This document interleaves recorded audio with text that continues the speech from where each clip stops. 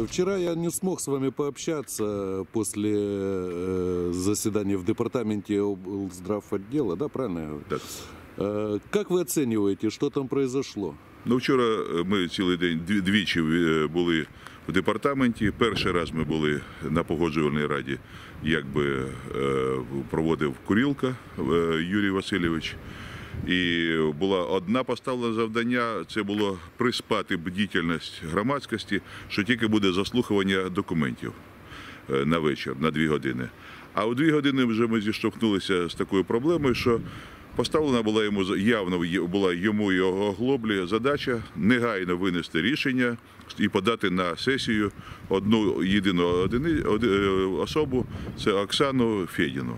Саме для того туди, туди її е, збирали у дві години.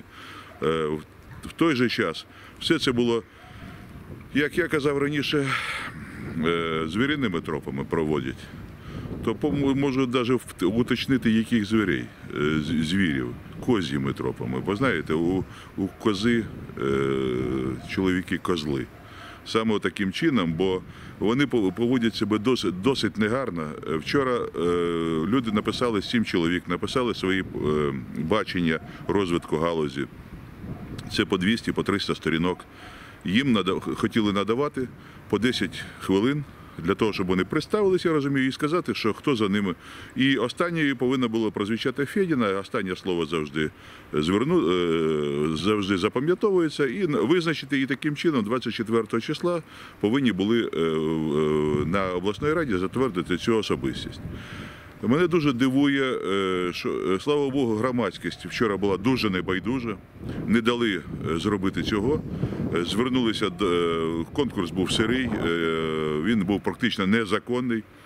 Слава Богу, звернулися вчора по телеф... в телефонному режимі до Біленького Олександра Юрійовича. І е, в даному випадку я можу тільки його е, привітати, що він поступив е, більш-менш державницьки. Він виніс це питання затвердження умов конкурсу на сесію і таким чином дозволив. Дозволив не приймати вчора незаконне рішення.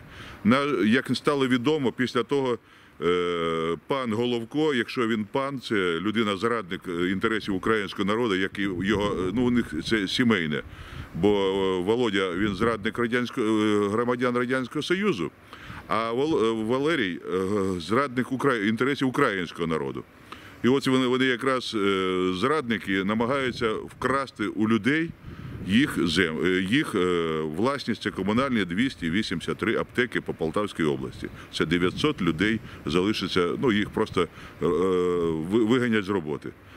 І ось, слава Богу, після того він поставив їм завдання е, курілка, е, оглоблі і лисаку е, писати заяви про звільнення, тому що вони не виконали його поставлену задачу. Так от я, як правозахисник, незалежно від того, що вчора ми сварилися з лисаку е, з курілка і оглоблі.